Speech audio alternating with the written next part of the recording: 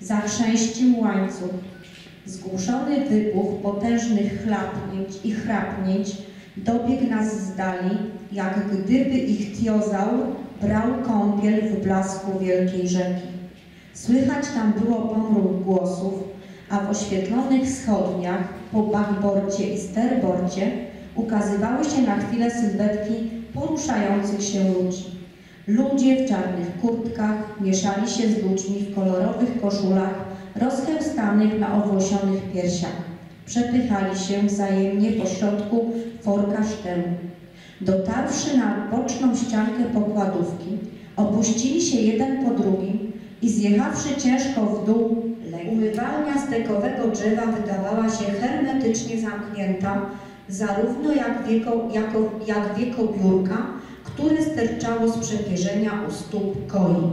Radża spojrzał na swych ludzi. Ten Francuz na przykład splótł palce i rozplótł je znowu.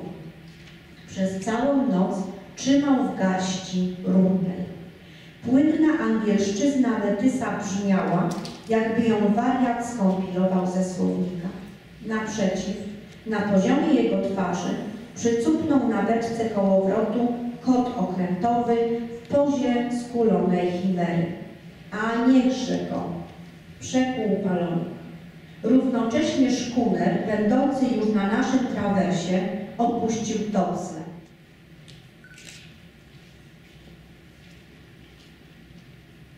Po spokojnym morzu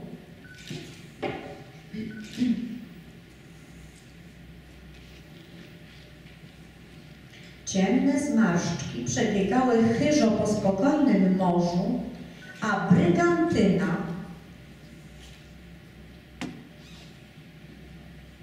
z marslem na foku, a brygantyna z marslem na foku zbrasowanym na jedną burtę i bonem grota ściągniętym na środek.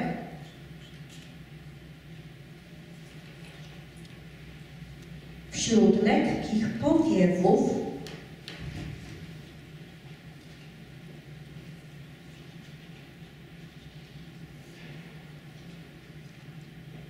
Wśród lekkich powiewów, wciętym na środek, wśród lekkich powiewów wydawała się oszołomiona. Mogę czytać następne?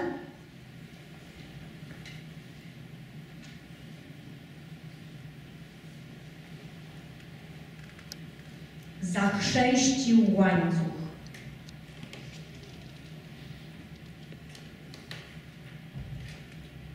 Zgłuszony wybuch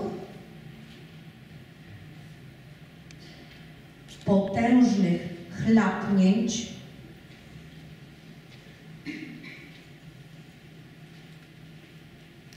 i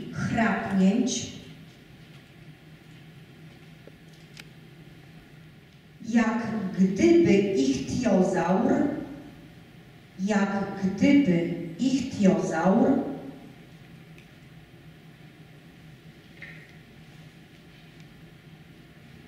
brał kąpiel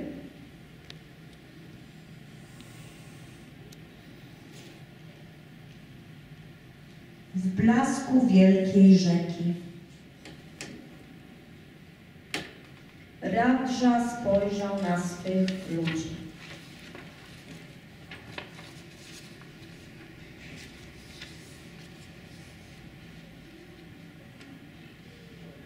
I kolejna, nowa myśl. Jim dochodził aż do bramy. Jim dochodził aż do bramy wiodącej na dziedziniec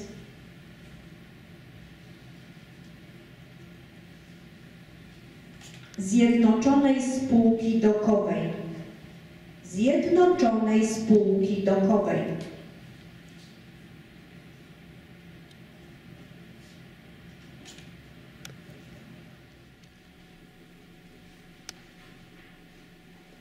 jakby przygwożdżony do miejsca, jakby przygwożdżony do miejsca, jakimś odkryciem.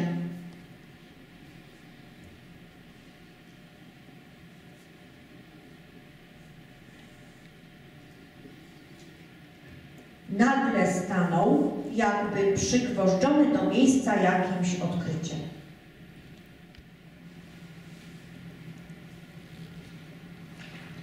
Tykały na dobranoc i witały go przy obudzeniu. Tykały na dobranoc i witały go przy obudzeniu. Falującej piersi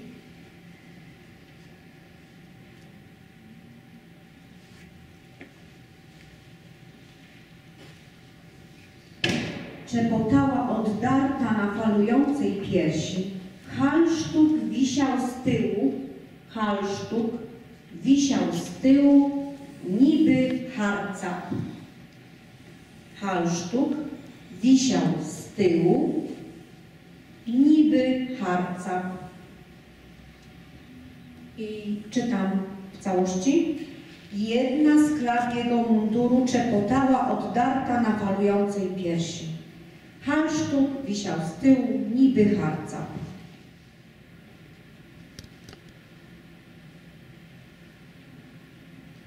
Strzesze brwi, strzesze brwi,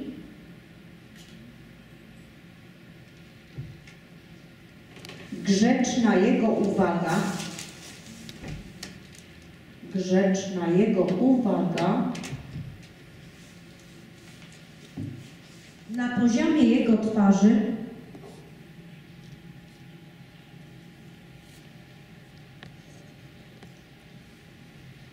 Przycupnął na beczce, przycupnął na beczce kołowrotu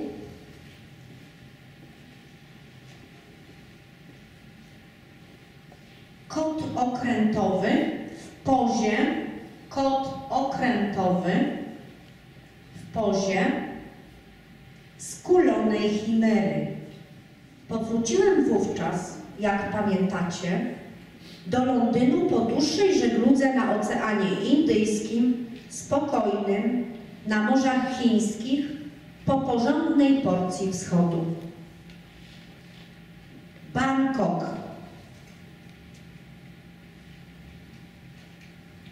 Bangkok. Zadrżałem z radości.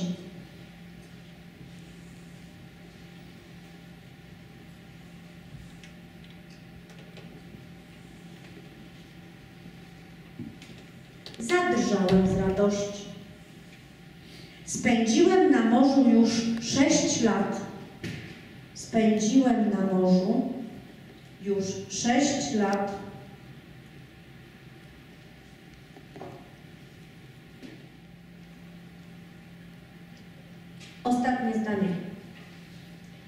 Żyłem w piekielnym rozgardiaszu.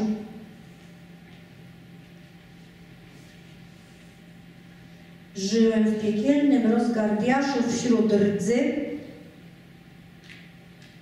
opiłków. Żyłem w piekielnym rozgardiaszu wśród rdzy, opiłków, nakrętek, rdzy, opiłków, nakrętek, spożniów, spożniów, kluczy naśrubkowych, spożniów, kluczy naśrubkowych, młotków, wiertarek.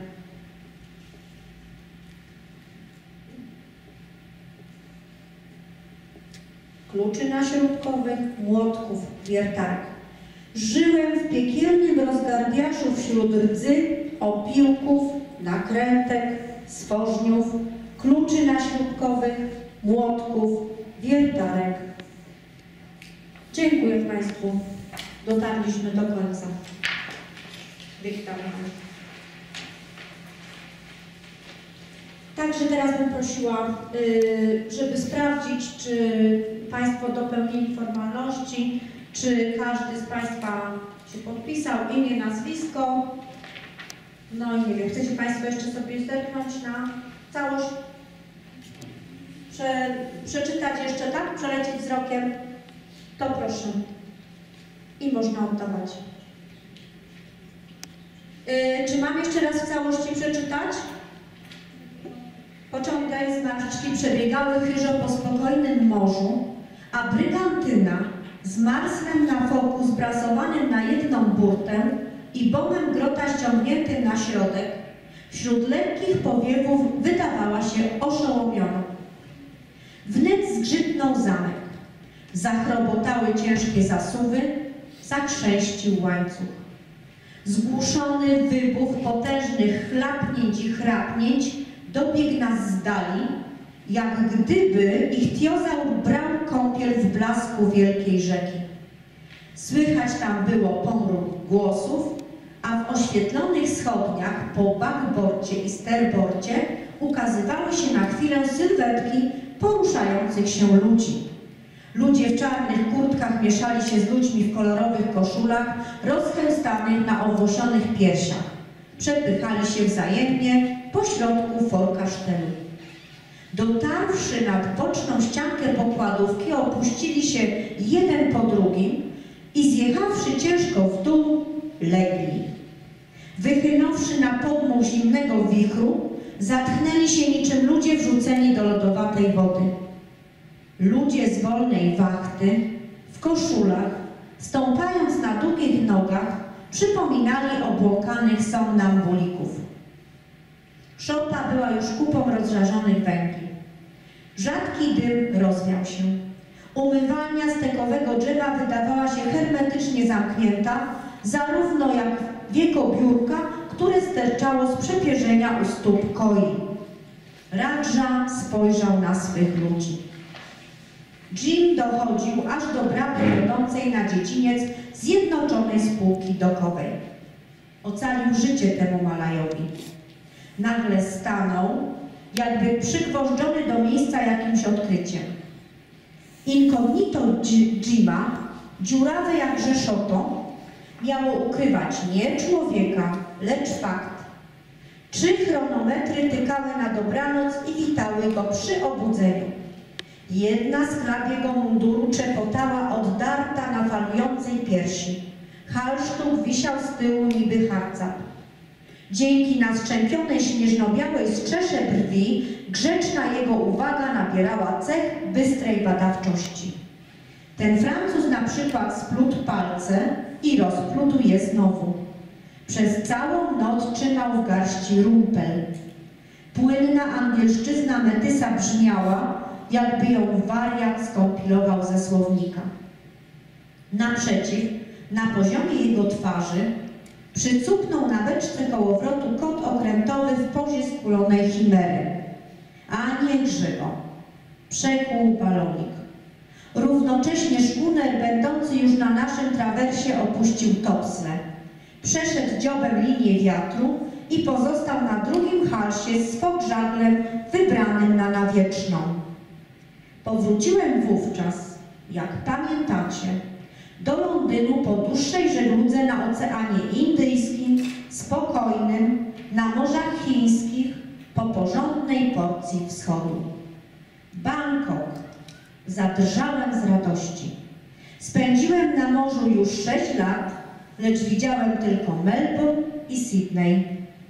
Żyłem w piekielnym rozgardiaszu wśród rdzy, opiłków, nakrętek, spożniów, kluczy naślubkowych, młotków, wiertarek. Myślę, że teraz już, y, jak w całości, to mieliście Państwo czas, żeby y, sobie przejrzeć, przelecieć jeszcze co do interpunkcji, sprawdzić, tak? Także możemy zebrać, tak? Pani Ani, możemy zbierać. To proszę. Gotowe, oddajecie Państwo pracę i na rozstrzygnięcie, jak Pani Ani może przekaże teraz. Jeżeli Państwo sobie sprawdzą i będą gotowi do oddania swoich prac, prosimy. No i oczywiście zapraszamy 22 na rozwiązanie. Ja jeszcze do Państwa, aby Państwo podrali adresy mailowe, będę pisała, przypominała. Także serdecznie zapraszam. osobami towarzyszącymi. Dziękuję. Dziękuję.